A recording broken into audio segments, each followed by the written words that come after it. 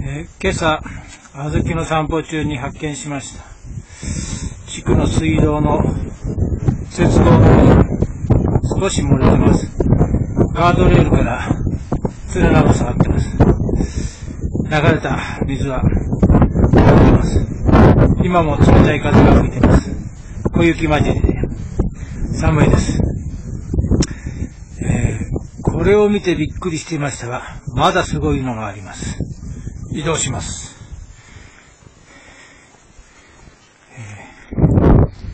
伊勢本街道、町屋の宿から立川へ向かって歩いています。えー洋館の東屋さんを過ぎたところです。えー右手には川が見えます。白く見えてるのがわかりますでしょうかこれから近づいていきます。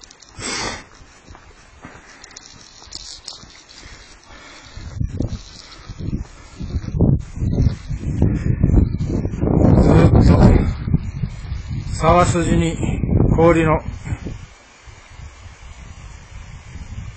氷河のようになっています。橋を渡って行ってみます。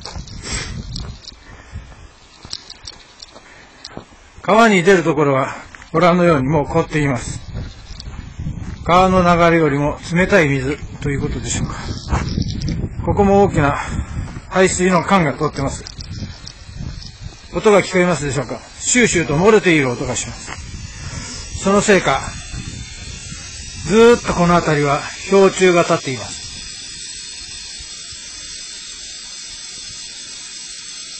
多分、大きな噴水で降り注いだ水が凍ったのではないかと思われます。ここだけ、鍾乳洞のような異世界、異元異次元の世界が出ています。すごいです。